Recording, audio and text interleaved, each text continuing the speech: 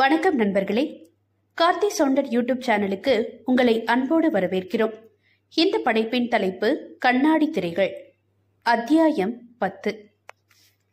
அர்ப்பணா அழுது ஓய்ந்து மயங்கி போய்விட இரவு உணவை அவள் சரியாக சாப்பிடவில்லை என்று அவள் அன்னை அவளுக்கு பால் எடுத்து வந்தார். அவளது அரைக்கதவை தட்ட உள்ளே எந்த சத்தமும் கேட்கவில்லை. தூங்கிவிட்டாளோ என்று யோசிக்க அறையில் விளக்கு எரிந்து கொண்டுதான் இருந்தது. குளியல் அறையில் இருக்கிறாளோ என்று இன்னும் அதிகமாக சத்தம் கொடுக்க அப்போதும் எந்த பதிலும் இல்லை. கல்லூரியிலிருந்து வந்ததிலிருந்து அவள் ஒரு மாதிரியாக அமைதியாகவே இருந்தது வேறு பயம் தர கதவை அவசரமாக தட்டினார். இன்னும் எந்த பதிலும் இல்லாமல் போக கணவனை அழைத்து வந்து கதவை உடைக்க அழுது வடிந்த முகத்துடன் கையில் அலைபேசியை பிடித்த வண்ணம் படுக்கையில் மயங்கி கிடந்தாள். ஐயோ என் பிள்ளைக்கு என்னாச்சு? என்று தலையில் அடித்துக்கொண்டு அவளருகே ஓடினார் அவளது அன்னை. அர்ப்பணா அர்ப்பணா! என்று கத்தியபடி வந்த அவளது தந்தை பதட்டமாக வந்து அவள் கன்னத்தை தட்ட அதற்குள் அவள் அன்னை தண்ணியை எடுத்து அவள் முகத்தில் தெளித்தார். அவர் தெளித்த பின்பே அவளது உடம்பில் சிறு அசைவுகள் தெரிய நிம்மதி பெருமூச்சுடன் அவளை இன்னும் சற்று ஒழுக்கினார் அவளது தந்தை. அர்ப்பணா அர்ப்பணா இங்க பார் அர்ப்பணா! என்று கன்னத்தை தட்ட அம்மடி அம்மடி என்னமா ஆச்சு? என்று இன்னும் கெஞ்சிக் கொண்டிருந்தார். ஆனால் அவளோ இன்னும் முழுதாய் தெரியாமல் பலவீனமாக கண்களை திறந்து மூட அவரது அன்னை அவசரமாக சமையல் கட்டிற்கு ஓடிப்போய் சர்க்கரை அதிகம் போட்டு பாலை எடுத்து வந்தார். இந்த பாலை குடிடா என்று அவளுக்கு கொடுக்க ஒரு மடக்குக்கு மேல் குடிக்க முடியவில்லை. வேண்டாமா என்று தலையசைத்து அவர் கையிலேயே கொடுத்துவிட அவளுக்கு நன்றாக வியர்த்து வேற போயிருந்தது. என்ன அர்ப்பணா செய்து? ஹாஸ்பிடல் போலாமா? என்று கேட்க பா பா என்று கண்கள் கலங்கி ஏங்கியவள் இன்னும் அதிகமாகவே அழுகவே ஆரம்பித்து விட்டாள்.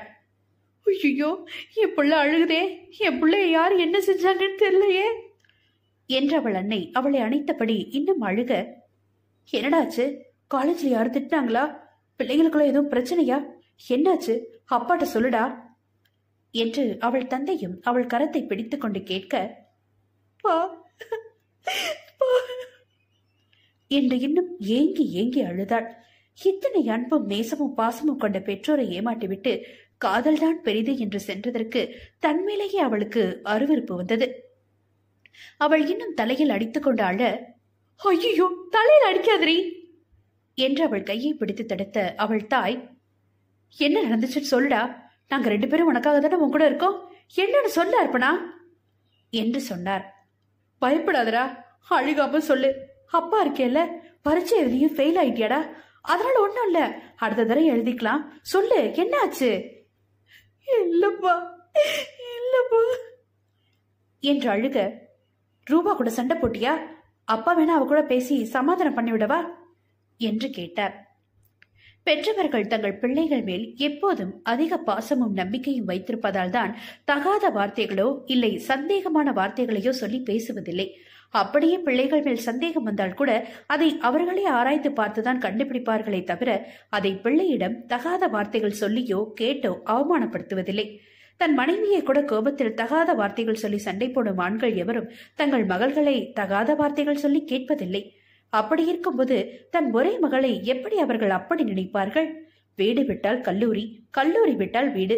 வீடு வந்தாலும் புத்தகமும் கையுமாக அறைக்குள்ளேயே இருப்பவளை என்ன சொல்லி கேட்பார்கள்? அவர்களுக்கு எங்கே தெரியும் அவள் காதல் கனவில் எல்லாம் சுற்றுவாள் என்று. எந்த பெற்றோரும் நினைப்பதில்லையே. அதனால் அவர்கள் அவளிடம் விசாரிக்க இதுவரை செய்த தவறான செயல்களுக்கெல்லாம் ஒரு சரியான முடிவை எடுத்திருந்தாள் அர்ப்பணா. ஆம் அவள் தன் பெற்றோரிடம் எல்லா உண்மையையும் சொல்லிவிட்டாள். அன்றைக்கு சூழ்நிலையில் அவள் சொல்லிய உண்மையின் வீரியம் மிக பெரியதுதான் என்றாலும் அதை சொல்லாமல் விட்டால் அதன் பாதிப்பு எந்த அளவிற்கு செல்லும் என்பது எவராலும் சொல்ல முடியாதது. தன் பெற்றோர் மேல் உள்ள நம்பிக்கையில் தன் காதல் என்னும் பேரில் ஏமாற்றப்பட்டதாக சொல்ல அவளது தாயும் தகப்பனும் இடிந்தே போயினர். என்னடி சொல்ற? என்று அவள் அன்னை நெஞ்சை பிடிக்க அவளது தந்தையோ என்னது என்று பிரித்தறிந்து விட முடியாத ஒரு உணர்ச்சியை முகத்தில் காட்டிக் கொண்டிருந்தாள். பிள்ளை மேல் கோபமா? ஏமாற்றியவன் மேல் கோபமா என்று தெரியாது. ஆனால் அவரது முகம் தான் தன் பிள்ளையிடம் ஏமாந்து விட்டதை நிச்சயமாக பிரதிபலித்தது.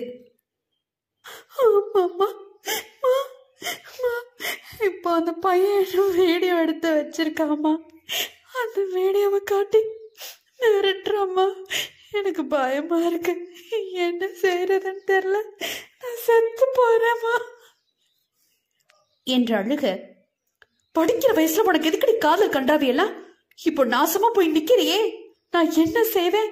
பொத்த பிள்ளைய கூட ஒழுக்கமா வளர்க்கலையேன்னு ஊர் உலகமே பேசுமே. என்று அவர் நெஞ்சில் அடித்துக்கொண்டு அழ அவர் மடியில் விழுந்து அழுதாள் அர்ப்பணா. செல்லம்மா நான் உண்மையாதான் காதலிச்சேன். என்று அழுக. காதலிக்கிறதெல்லாம் உங்களுக்கு இப்ப வயசு வந்துச்சோ எல்லாம் தெரிஞ்ச பெரிய மனுஷி ஆயிட்டியோ என்று அவளை இன்னும் நன்றாக முத்தினர். அடியை வாங்கிக் கொண்டு அமைதியாக அழுதவளை அவள் தந்தை எதுவுமே சொல்லவில்லை. அவள் தாய் அடிப்பதையும் தடுக்கவில்லை. எங்கோ ஓரிடத்தில் தந்தை என்ற ஸ்தானத்தில் தான் தவறிவிட்டோம் என்ற நினைப்பே மேலோங்கி நின்றது. அவரது அமையை பார்த்த அவள் அன்னை உனக்கு என்னடி குறை வச்சார் இந்த மனுஷன்? திங்கிற சோர்ல இருந்து போடுற துணி வரைக்கும் உன்கிட்ட கேட்டு உன் விருப்பம் பார்த்து தானடி செய்யறாரு பாவி பாவி. எங்களை ஏமாத்திட்டு காதல்னு போறதுக்கு உனக்கு எப்படி தைரியம் வந்துச்சு? சரி காதலிச்சியே. அது வீட்டுல சொன்னியாடி? என்று அவளை அடிக்க இல்லம்மா. படிப்பு முடிச்சிட்டு வீட்டுல உங்ககிட்ட சொல்லான் தான் இருந்தம்மா. என்று அழுக வீட்டில் சொல்லி ஆரம்பத்திலே அவனை வீட்டுக்கு கூட்டிகிட்டு வந்திருந்தா பெத்தவங்களுக்கு தெரியுதுன்னு அவனுக்கு பயம் இருந்திருக்கும். நீ பண்ண கழுத்தனத்தில் தாண்டி அவன் குளிர்க்கு வந்திருக்கான் அது எப்படி நீ காதல் வருது? அப்பா அம்மாவை மாரி உனக்கு எவனோ முக்கியம்னு போவியா? போவியாடி? என்று வில்லாசி தள்ளினார். இல்லவா இல்லவா போக மாட்டேம்மா போக மாட்டேன் என்று அவள் மன உளைச்சலிலும் உடல் வலியிலும் அழுக அவளது அன்னையும் ஓய்ந்து போனார். ஐயோ கடவுளே இப்ப என்னங்க செய்யறது போலீஸ் ஸ்டேஷன்ல கம்ப்ளைண்ட் பண்ணுவோமா? என்று தன் கணவனை பார்க்க அவர் இன்னும் அமைதியாகத்தான் இருந்தார். ஏதாச்சும் பேசுங்க. இப்படியே விட முடியாது. நாளைக்கு வெளியே தெரிஞ்சா ஊர்வாயை அடைக்க முடியுமா? என்று அவருக்கு கண்ணீர் வர ஏதாச்சும் பண்ணுவோம். உப்பு தின்னா தண்ணியை குடிச்சுதானே ஆகணும்? என்று எழுந்தவர் அந்த பையன் பேர் என்ன? என்று விசாரித்து எல்லாவற்றையும் வாங்கியவர் அடுத்த நாள் காலையிலேயே கல்லூரிக்கு சென்றார். தாயும் மகளும் வீட்டிலேயே தங்கிவிட்டனர் அவரின் கட்டளைப்படி. கல்லூரி முதல்வரிடம் சென்றவர் தன் பெண்ணை ஏமாற்றி அவளை வீடியோ எடுத்து மிரட்டுவதாக புகார் சொல்ல முதலில் அவர்களைத்தான் அவர் கிழித்து நார் நாராக தொங்க விட்டார்.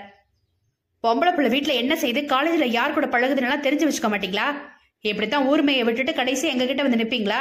இப்போ அந்த வீடு எத்தனை பேர்கிட்ட போயிருக்குன்னு யாருக்கு தெரியும்?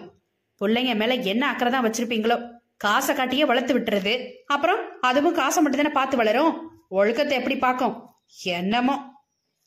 என்று அவர் கத்த தப்புதான் சார் கொஞ்சம் பெரிய மனசு பண்ணுங்க. போலீஸ் ஸ்டேஷன் எல்லாம் போனா குடும்ப மானமே போயிடும் சார் பொம்பளை பிள்ளை விஷயம். கொஞ்சம் ஏதாச்சும் பண்ண முடியுமான்னு பாருங்க சார் என்று கைகள் கூப்பி அழுதார். பிள்ளைகளுக்காக உயிரை மட்டுமல்ல மானத்தை கொடுப்பதும் பெற்றோர்தான் ஆனால் அதை அவர்கள் பார்க்க செய்வதில்லை. அவ்வளவுதான் வித்தியாசம். இங்கேயும் அர்ப்பணாவிற்காக அவள் செய்த தவறுக்காக அவளது தந்தை யாரிடமும் மானத்தை விட்டு கெஞ்சிக் கொண்டிருக்கிறார். சரி சரி இருங்க. இதை எப்படியோ எடுத்தோம் கவுத்தோன்னு செய்ய முடியாது. உங்க பொண்ணு எங்க? சார் அவ வீட்டுல இருக்கா சார். இந்த பிரச்சனை வந்து ரொம்ப அழுது அடிச்சு இப்போ காய்ச்சல்னு படுத்து கிடக்குறா. உங்க பொண்ணு வீட்லயே ரெண்டு நாள் இருக்கட்டும். அந்த பசங்க ஃபோன் பண்ண எடுக்க சொல்லுங்க. ஆனா என்ன பேசுறாங்கன்னு கவனிங்க. எத்தனை பசங்க? என்று மறுபடியும் கேட்டார். இப்போதைக்கு ரெண்டு பசங்க பேர் தான் சொன்னா சார். சரி இருக்கட்டும். அந்த ரெண்டு பசங்க ஃபோன் பண்ணா மட்டும் எடுக்க சொல்லுங்க. உடம்பு சரியில்லை அதனால ரெண்டு நாள் லீவ் போட்டிருக்கேன்னு சொல்ல சொல்லுங்க.